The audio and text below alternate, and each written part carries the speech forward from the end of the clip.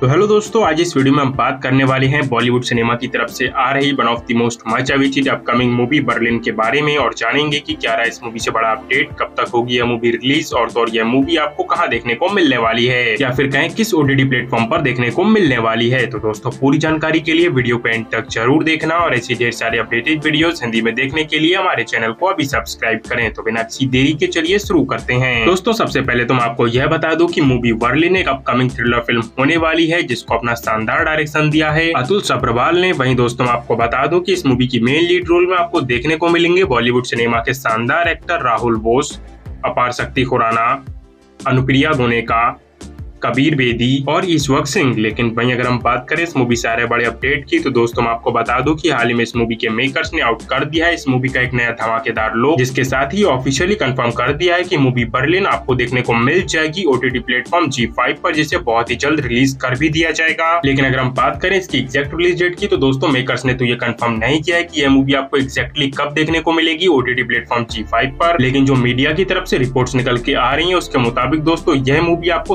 सितंबर के एंड या फिर अक्टूबर के स्टार्टिंग में देखने को मिल सकती है। जिसकी एग्जैक्ट रिलीज़ डेट हो या फिर टीजर ट्रेलर की अनाउंसमेंट मैं आपको अपडेट कर दूँगा और उसके लिए आपको कुछ भी नहीं करना हमारे चैनल को कर लें सब्सक्राइब और साइड में दिया बेल आइकन ज़रूर दबाए। तो मिलते हैं नेक्स्ट वीडियो में नए अपडेट के साथ। तब तक के लिए बाय बाय टेक केयर